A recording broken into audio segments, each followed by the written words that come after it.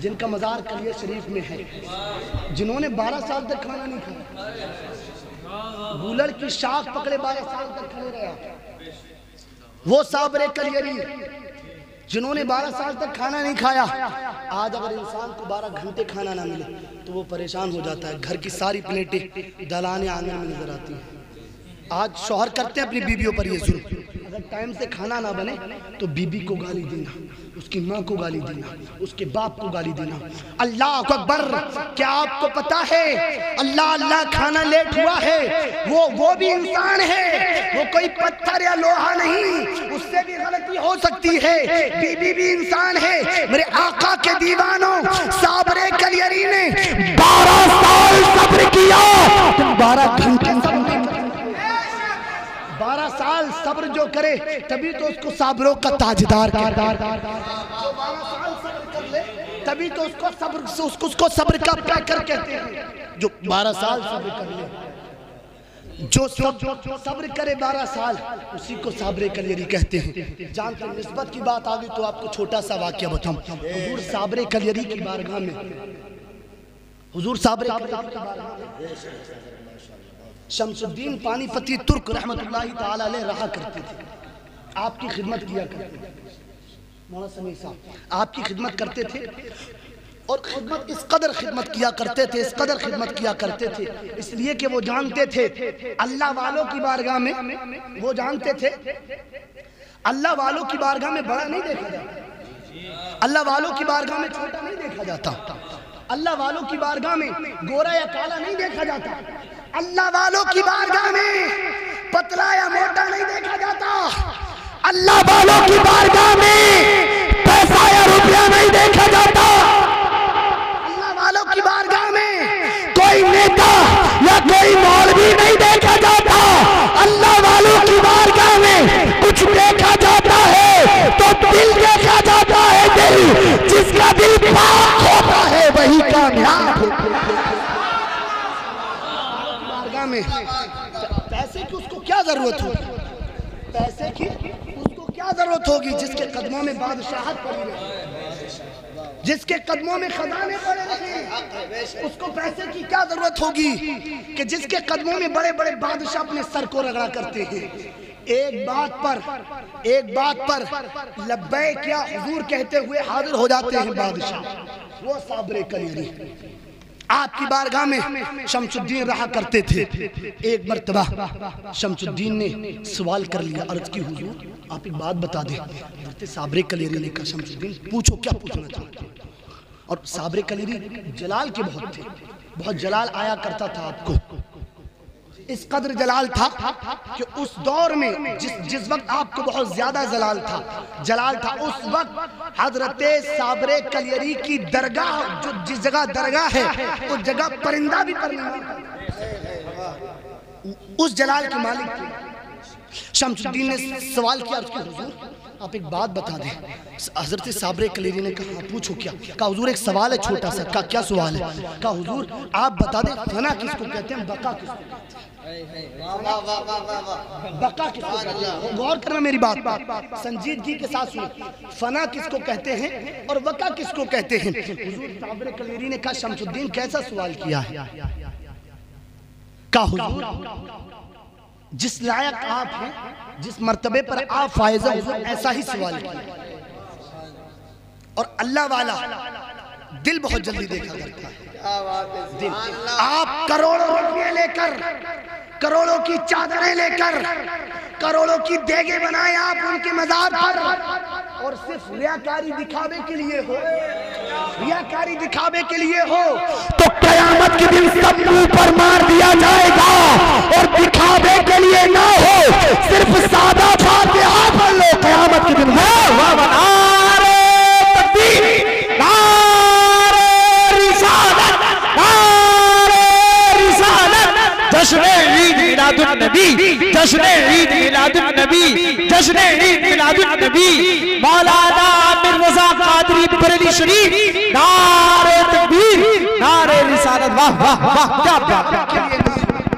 दिखावे के लिए जो होता है, वो कबूल नहीं होता। जो दिखावे के लिए होता है, जो सिद्क दिल से होता है, वही कबूल हुआ करता है। का हुजूर बताएँ, फना किसको कहते हैं, बका किसको कहते हैं? हज़रत साबर कलीरी ने इरशाद फरमाया, शमसुद्दीन, ये सवाल आप मत पूछो। का हुजूर जवाब दे, इसका जब पूछ लिया है। हज़रत साबर कलीरी ने कहा, शमसुद्दीन शमसुद्दीन, एक काम करना, का हुजूर कहा जब मेरा इंतकाल हो जब मेरा विशाल हो शमशुद्दीन उस वक्त ना तो किसी को गुस्ल देने देना और ना किसी को कफन देने देना और ना किसी को मेरी नमाज़ जनाजा पढ़ाना। दुनिया के लोगों का इंतकाल हो। तो उसको सबसे पहले गुस्ल दिया जाता है। कफन का इंतज़ाम किया जाता है। हुजूर उसकी नमाज़ जनाजा पढ़ाई जाती है। लेकिन मेरे आका क्यों मना कर रहे हैं कि आपकी नमाज़ जनाजा ना पढ़ाई जाए। हज़रत साबर कलयरी ने कहा, शमसुद्दीन में मना नहीं करता, शमसुद्दीन में मना नहीं करता, बल्कि मैं आगे जो कह रहा हूँ उसको कान खोल कर सुनो कहा, हुजूर, क्या कहते हैं? हज़रत हज़रत साबर कलयरी ने कहा, शमसुद्दीन, जब मेरा इंतकाल हो, ना कोई गुस्ल दे ना कोई कफन दे, शमसुद्दीन मेरे जनाजे को रखना, मेरे जनाजे को एक कमरे में बंद कर देना, कुछ मिनटों के बाद मेरे उस कमरे को खोलना, शमसुद्दीन उस कमरे को खोलना अल्लाह अल्लाह ने कहा कमरे में रखने का क्या मैटर है? हुजूर समझा दिया जाए, कमरे में क्यों रखा जाए? हुजूर बता दिया जाए, कमरे में क्यों रखा जाएगा? हज़रत साबर कलरी ने कहा शमसुद्दीन तुम जो कहते हो कि हुस्न की बात जो करते हो कफन की बात जो करते हो शमसुद्दीन कान खोल करते हो शमसुद्दीन कान खोल करते हो, ना तुम हुस्न देना, ना किसी से दिलवाना, ना तुम कफन देना, ना किसी से दिलवाना, कमरे में बंद कर देना, कमरे में बंद कर देना कहा, हुजूर, कमरे में बंद करके क्या मिलेगा? साबरे कलियरी ने कहा, जब कमरा खोलोगे कमरा खोलोगे कमरा खोलोगे तो मेरा हुस्न भी हो जाएगा। कोई मुझे कफन भी दे देगा, कफन भी दे देगा। अल्लाह अल्लाह। तो ने कहा, हुजूर, ऐसा ही करूँगा। हज़रत साबरे और साबरे कलियरी ने कहा, शमसुद्दीन, और सुन लो, और सुन लो। कहा, हुजूर, नमाज़ जनाजा कौन पढ़ाएगा? क्या मेरे लिए हुक्म है? हुजूर, क्या किसी और के लिए हुक्म है? हुजूर साबरे कलियरी ने इरशाद फरमाया शमसुद्दीन ना तेरे लिए हुक्म है, न किसी और के लिए हुक्म है बल्कि मेरे जनाजे को रखना, मेरे जनाजे को रखना और थोड़ी देर इंतज़ार करना। शमसुद्दीन एक घोड़े पर सवार होकर, एक घोड़े सवार आएगा, जिसके चेहरे पर निकाह पड़ा होगा, जिसके चेहरे पर पर्दा होगा। शमसुद्दीन मेरी नमाज़ जनाजा पे पढ़ाएगा। शमसुद्दीन मेरी नमाज़ जनाजा पे पढ़ाएगा। उसको मेरी नमाज़ जनाजा पढ़ाने देगा।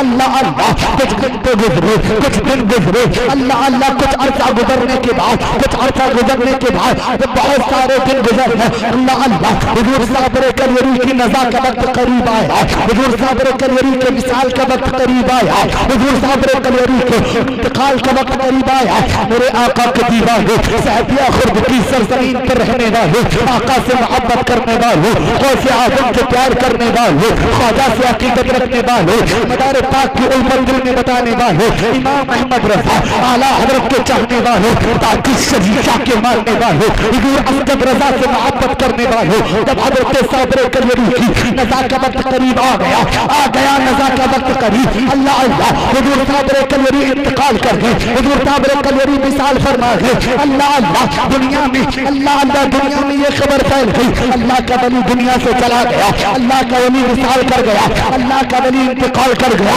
बड़े बड़े बड़े बड़े बड़े बड़े बड़े बड़े आलिम, बड़े बड़े मुफ्ती, बड़े बड़े खुतबा अल्लाह अल्लाह, बड़े बड़े आपकी नमाज़ जनाजा में शिरकत करने के लिए हाजिर होने लगे। आपकी नमाज़ जनाजा में शिरकत करने के लिए आने लगे। मेरे आका से मोहब्बत करने वाले जब साबरे के लिए की अल्लाह अल्लाह, नमाज़ जनाजा में शिरकत करने के लिए आए लोगों ने कहा, लोगों ने कहा, उनको गुस्ल दिया जाए। साबरे कलियरी को कफन दिया जाए। साबरे कलियरी को गुस्ल दिया जाए।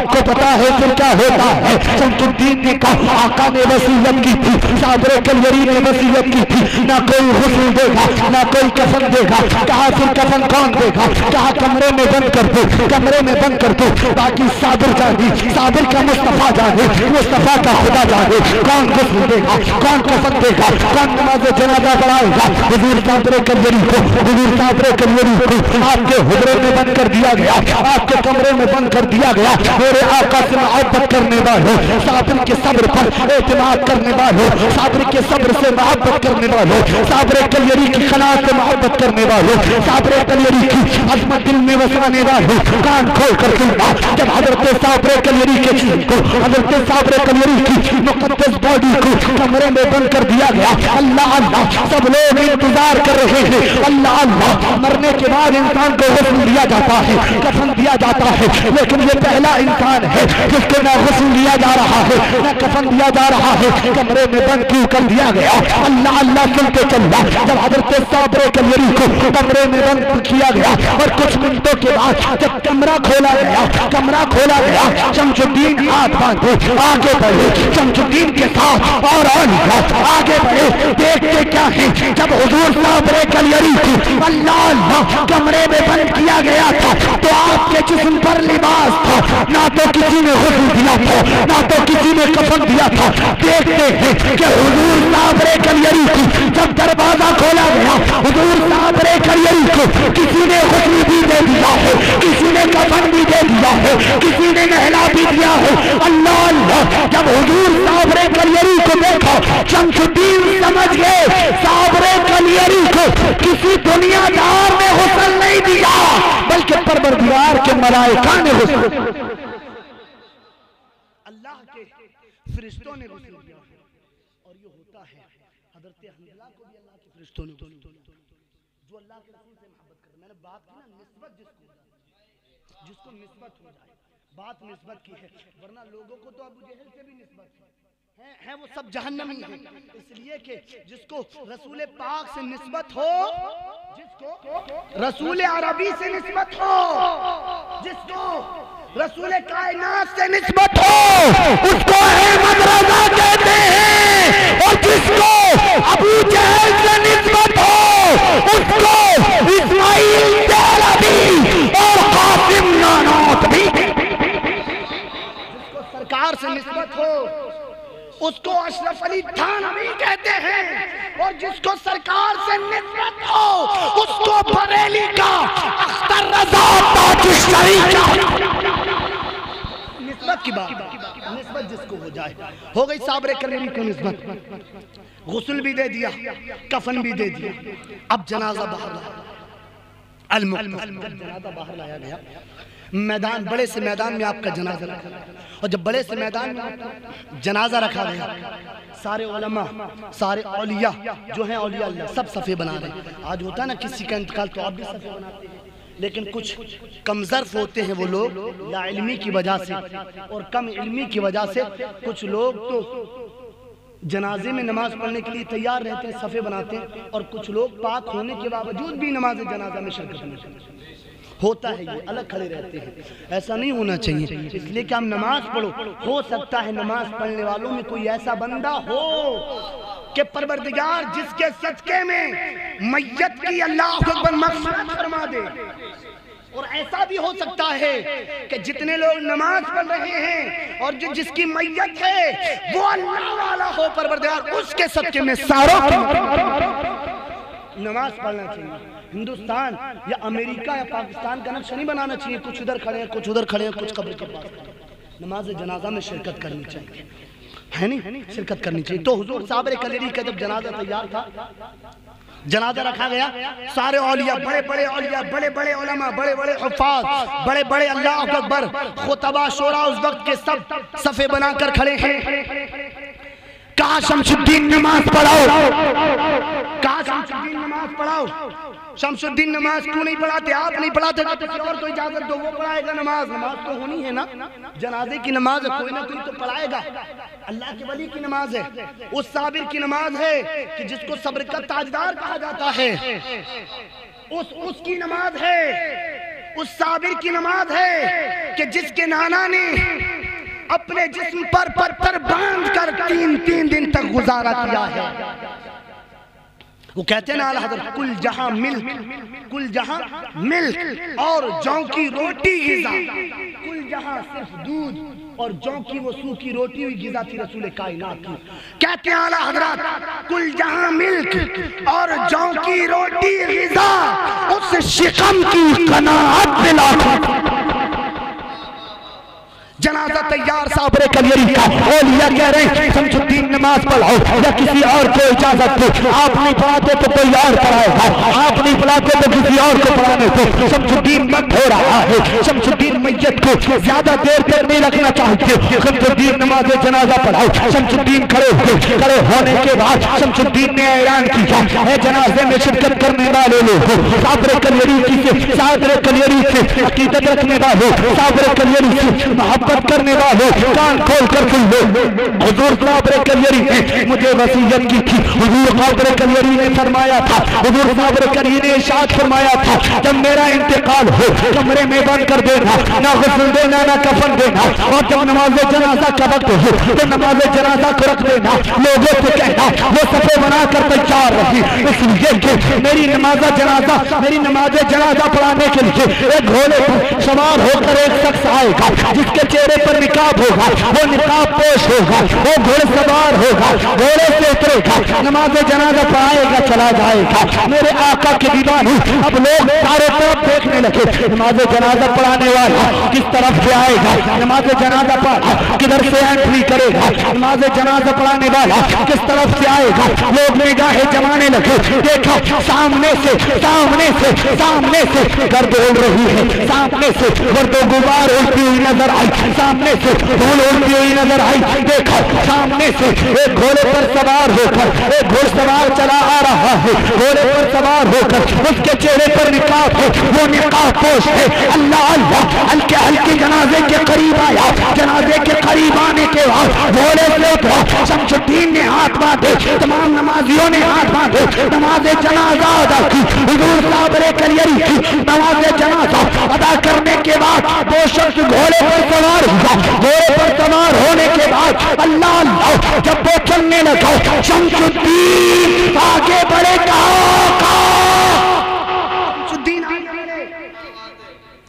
कहा का बता दे? आप ना तो आपको किसी ने देखा, ना तो आपको कोई जानता है।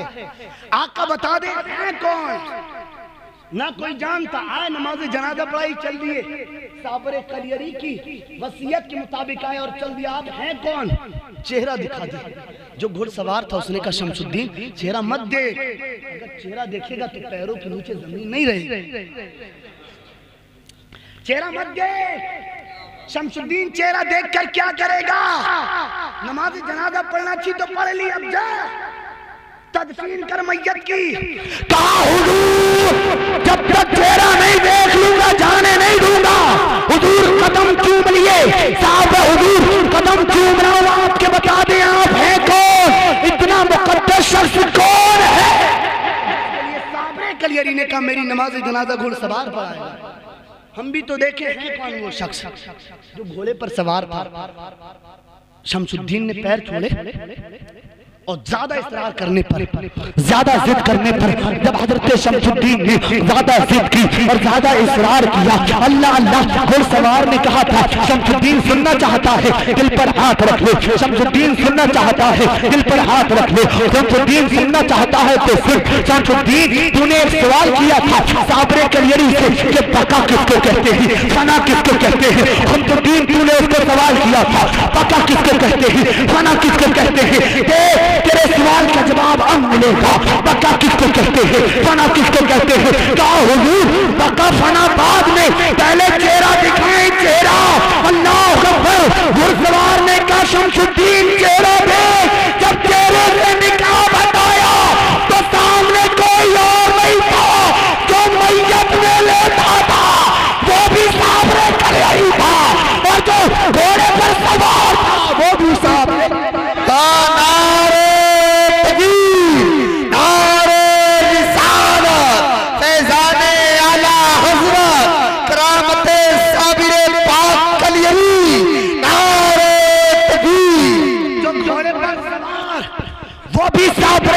कलियरी और जो जनाजे में लेता वो भी साबरे कलियरी शमसुद्दीन ने कदमों को चूमा और उसकी हुजूर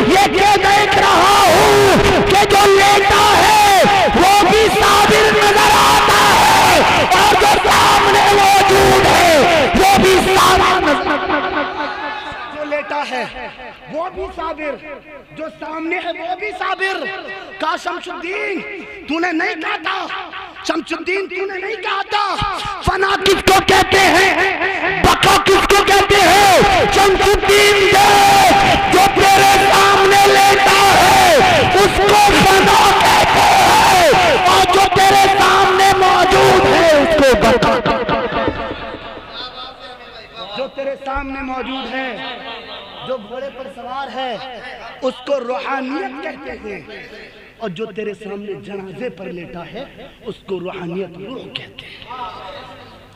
है कोई दुनिया में ऐसा माई का लाल कि जिसने खुद पर्दा फरमाया हो, खुद अपने जनाजे की नमाज़ कोई नहीं, तारीख पढ़ो आप यह उस नबी का नवासा है। कि जिस नबी के सदके में परवरदिगार ने सोई इतनी ताकत दी कि पर्दा तो फरमा गए, उसके बाद भी अपनी नमाज़ जनाजा पढ़ा ये निस्बत की तो बात है। रसूल कायनात से नस्बत है। ये निस्बत की बात है। रसूल कायनात से नस्बत है। तभी तो ये मर्तबा है। रसूल कायनात से निस्बत है। तभी तो ये पावर है। रसूल कायनात से निस्बत है। तभी तो ये रुतबा है। रसूल कायनात से निस्बत है। तभी तो ये पोस्ट है। रसूल कायनात से निस्बत है। तभी तो ये आया है। रसूल कायनात से निस्बत है। तभी तो ये मर्तबा है। इसलिए के इसलिए के इसलिए के, ना दूर वाला है, ना वाला है ना दूर वाला है ना दूर वाला है ना दूर वाला है ना दूर वाला है। ना दूर वाला है ना दूर वाला है अपना का तो दूर दूर वाला है। ना दूर वाला है। अपना का तो नूर वाह वाह वाह वाह वाह नूर वाला है वाह। तेरी नस्ल पाक में है। बच्चा बच्चा। बच्चा जिंदाबाद। तू है नूर तेरा घराना। जी क्या तू है नूर तेरा सब घराना का। वो जो ना थे तो कुछ न था वो जो ना हो तो कुछ ना हो। जान है वो जहान की जान है तो जहान है। काफ़ी वक्त हो गया फिर कभी मौका मिलेगा तो आपकी भरपूर खिदमत की जाएगी इंशाल्लाह ताला। अल्लाह पाक से दुआ है परवरदिगार आलम मेरे बोलने में।